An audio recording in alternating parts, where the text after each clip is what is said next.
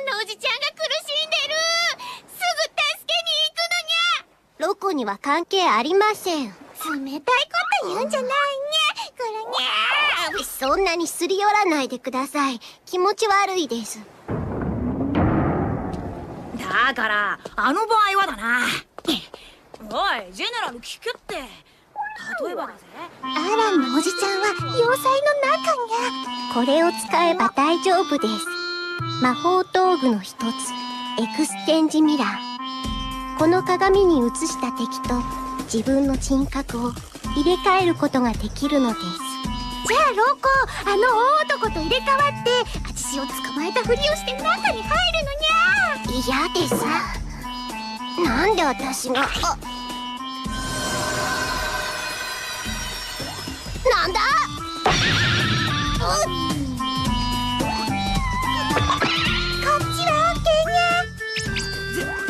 いいつか転ばします。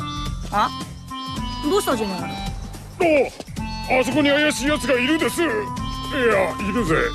しまった。慎重に隠れていたのに見つかってしまった。仕方がないからおとなしく捕まってしまう。なんだあいつ。下手です